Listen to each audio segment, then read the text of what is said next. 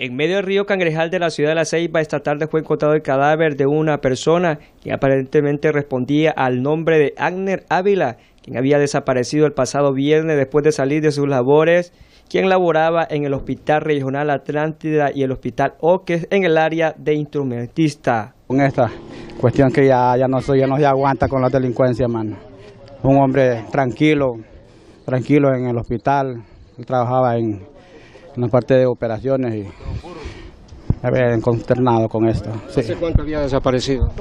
Mm, sí, como el jueves, así que sí. sí hemos estado a la expectativa de, de cualquier información de, de, de él. Pero lo que confirma aparentemente la camiseta que dice instrumentista de Honduras, eso era lo que decían las camisetas de Abner. Sí, yo creo que era instrumentista él del hospital. Sí, es lastimoso. Vamos a esperar que, que los forenses confirmen, ¿verdad?, la identidad, porque pues solo es una camiseta hasta ahorita. Esperamos en Dios, confiamos que, que estén equivocados.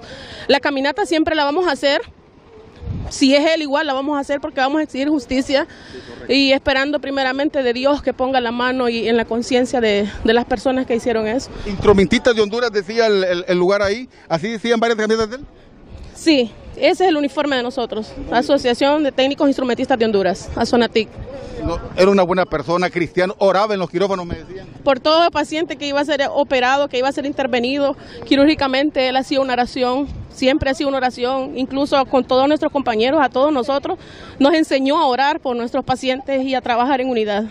Por otra parte, en otro hecho violento, siempre en el río Cangrejal, a la orilla de la colonia Bellavista, fue encontrado el cuerpo sin vida de una persona quien responde a Arnold David Munguía, de 20 años de edad. Supuestamente Arnold, Arnold David Guifarro Munguía, de 20 años, vivía, residía aquí en la colonia Casablanca, nada más. Sí. Nada más no tenemos más. ¿Qué, qué presentaba él?